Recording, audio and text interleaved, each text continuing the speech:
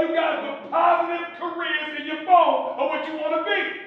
Now you got to put the work in to make it happen.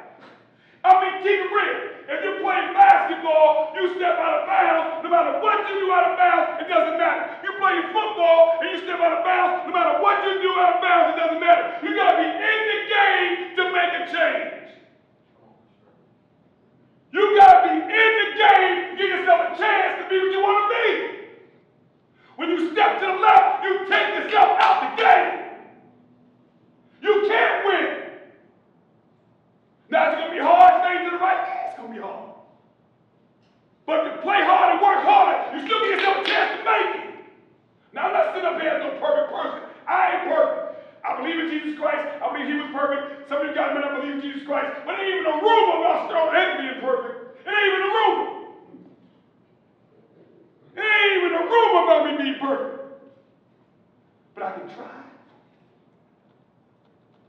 Case in point, how many of you guys believe practice makes perfect? Raise your hands. Believe practice makes perfect? Raise your hands.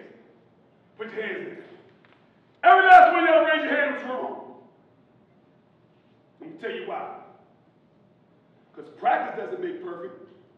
A perfect practice makes perfect. Because if you're practicing wrong things, you're going to continue to do wrong things. We're a piece of habit. You got to know what to do while you're in practice in order to get better in practice. You just can't go practice out here. I'm ready to do practice. You got to know what to do in practice. That goes for study before an exam. That goes for practice for a basketball game. That goes for practice for a football game, for tennis. Whatever you do, you got to know what to do and do it right and do it better than anybody else in order to excel whatever it is you want to be. Say I'm here practicing. You got to know what to do. And that's when you got the support around this world right now. So I ain't have nobody thinking about me like as well as you guys is. I, I last on to my uncle, the people on the in, in the city, the guy named Al Monterosa who gave me a job in this sports center, making three dollars an hour. Three dollars an hour. Ten hours a week. Thirty dollars a week. I couldn't make five grand. But I know I wasn't going to jail. I knew I had a chance to stay in the game. I knew I had a chance to do what I wanted to do. What did I do?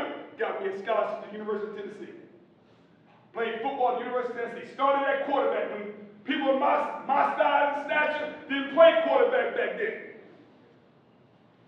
Won four bowl games, two SEC championships.